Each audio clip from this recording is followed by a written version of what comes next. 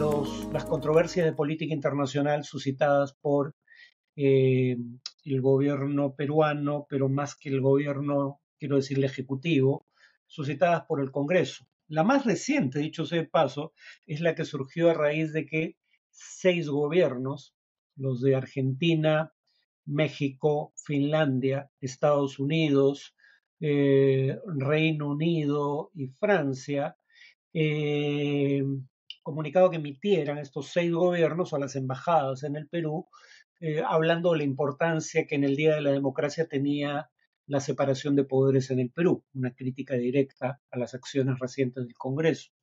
Eh, si le hiciéramos caso a la congresista Patricia Chirinos, eh, pues según parece Francia, el Reino Unido y Estados Unidos son el nuevo enemigo del Perú. el Reino Unido gobernado por un partido llamado conservador, dicho sea de paso. Pero bueno, eh, hoy me voy a centrar más bien en el tema de la propuesta. Eh, hay tres propuestas para que el Perú abandone eh, el Pacto de San José, es decir, la Convención Americana de Derechos Humanos, que es el tratado a través del cual Perú se sometió a la competencia contenciosa de la Corte Interamericana de Derechos Humanos. El propósito último es salir de la competencia de la Corte de las tres propuestas de este tipo, la que más ha avanzado y ha sido presentada formalmente es la del almirante en retiro y congresista Montoya. En su proyecto, el almirante Montoya dice, la presente ley tiene como finalidad salvaguardar la soberanía e independencia del Estado peruano, en cumplimiento, según él, del artículo 43 de la Constitución, eh, pero si no me equivoco, ese mismo artículo dice que eh, el gobierno se ejerce respetando la división de poderes.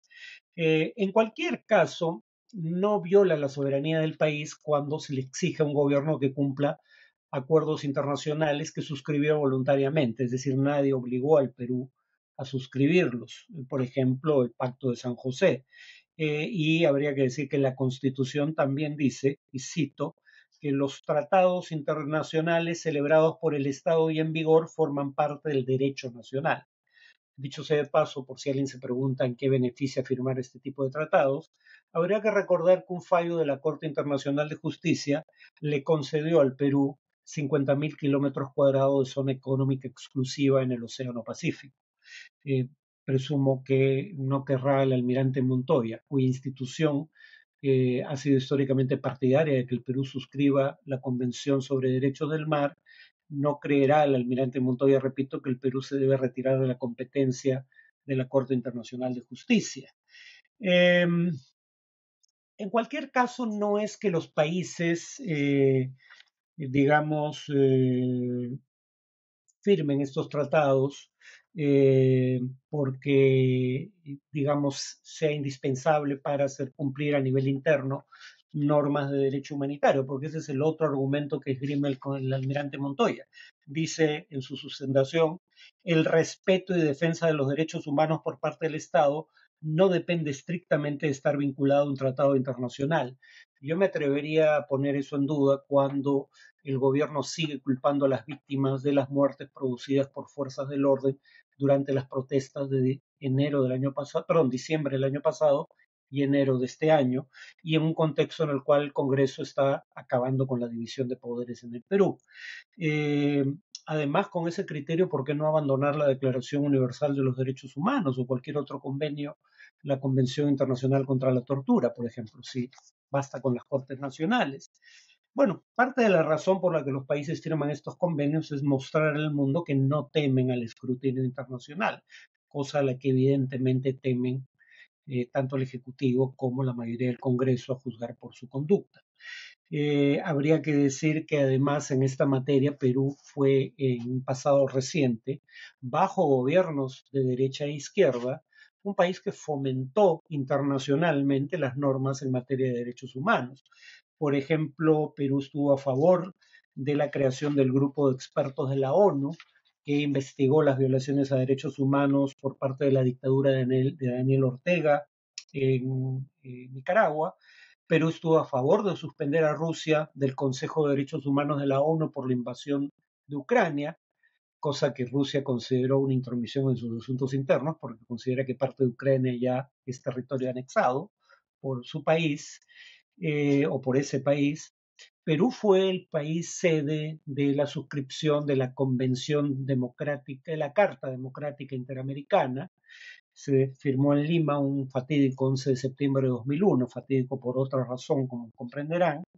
Eh, y cuando no se pudo aplicar la Carta Democrática Interamericana a, Venezuela, a la dictadura de Maduro, eh, Perú fue el país que promovió el Grupo de Lima. Y el Grupo de Lima, a su vez, eh, digamos, es el que le exigió en su momento a Venezuela aceptar las recomendaciones de la Comisión Interamericana de Derechos Humanos. En ese momento, ningún congresista conservador se quejó por, eh, digamos, el hecho de que Perú eh, pidiera o exigiera a Venezuela eh, que cumpliera con tratados internacionales de los que todavía era parte. Em, otra sustentación del congresista Montoya es que la justicia peruana ha demostrado eficacia, autonomía e independencia, remarcando que ha juzgado y condenado con las garantías del debido proceso a más de cinco presidentes de la República. Bueno, en primer lugar, la única condena en firme por ahora es la de Alberto Fujimori. Ningún otro expresidente ha sido condenado por los crímenes que se les imputan. En segundo lugar, lo que acá se pretende implicar es que estos serían personajes políticamente influyentes y el hecho de que la ley se les haya aplicado pese a ello demuestra que el Poder Judicial peruano no está sujeto a presiones políticas indebidas, pero cuando uno ve los casos específicos, piensan sobre todo, pero no únicamente en el caso de Pedro Pablo Kuczynski. Pedro Pablo Kuczynski no tiene mayor apoyo popular, si es que tiene alguno, no tiene una bancada en el Congreso, ni siquiera tiene un partido político, el suyo fue disuelto, que llevaba sus siglas.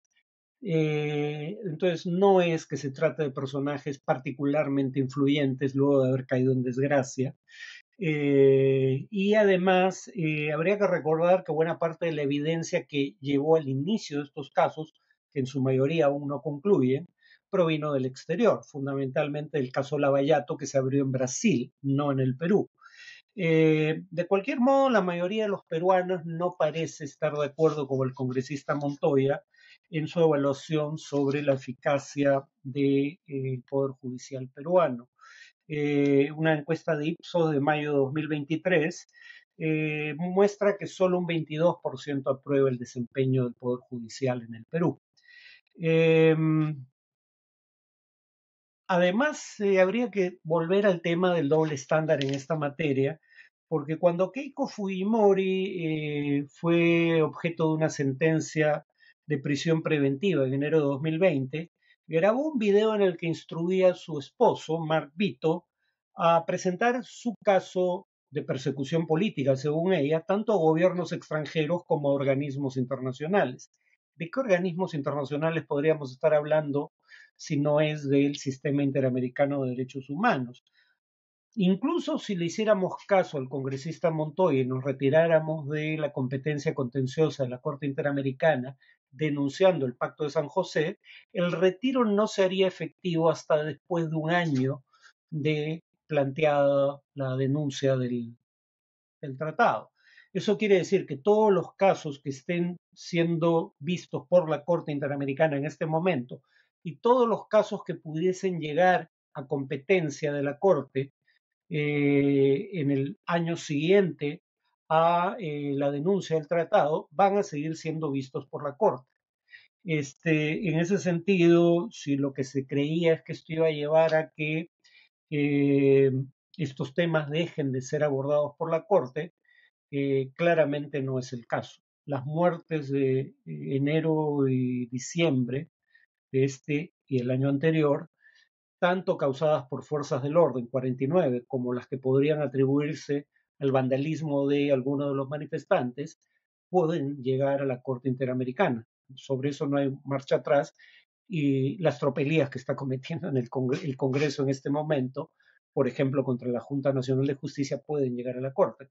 Miembros de la Junta Nacional de Justicia ya han indicado que van a apelar al sistema interamericano de derechos humanos y el retiro que plantea el congresista Montoya no va a evitar eso. Montoya también dice que uno de los factores aquí es que la Comisión Interamericana haya admitido una denuncia de Víctor Polay, el líder terrorista del MRTA, eh, y yo comprendo que la, la abrumadora mayoría de los peruanos eh, no creen que un hombre que causó tanto daño a nuestro país merezca ese tipo de consideraciones. Pero eso es un poco lo que implica el derecho internacional humanitario, por un lado, y el derecho, el Estado de Derecho en una democracia, por otro. Implica que es mejor eh, correr el riesgo de dejar libre a un eh, culpable que el de apresar a un inocente, cosa que no es aplicable en realidad a Polay porque está preso, eh, pero además de que incluso los más miserables entre los seres humanos tienen derecho a un juicio justo en una sociedad democrática y civilizada.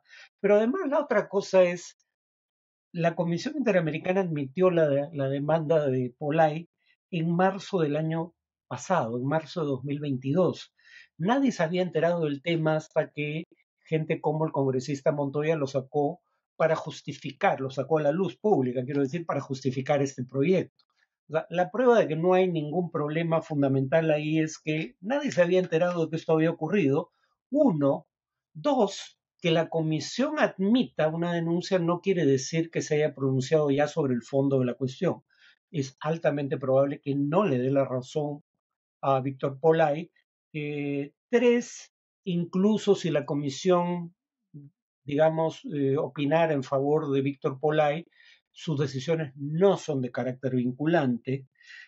Ahora, la comisión podría derivar el tema a la Corte Interamericana, pero nuevamente, esto es una denuncia sobre condiciones carcelarias. No importa lo que ocurra con esta denuncia, ninguna decisión final de ninguna instancia internacional va a liberar a Víctor Polay.